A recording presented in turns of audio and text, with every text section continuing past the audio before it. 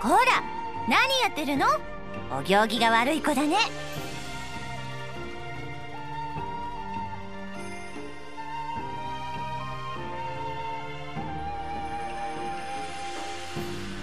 おねね様俺は。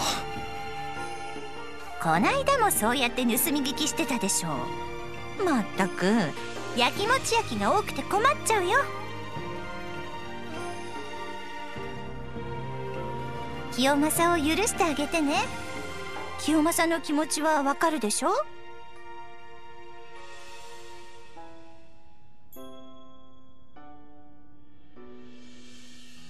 みんな私の子供たち。仲良くしなきゃ。二人っきりで親睦を深めてね。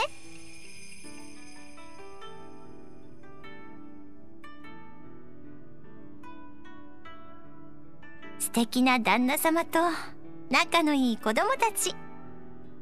お前様私は日の本一の幸せ者だよ。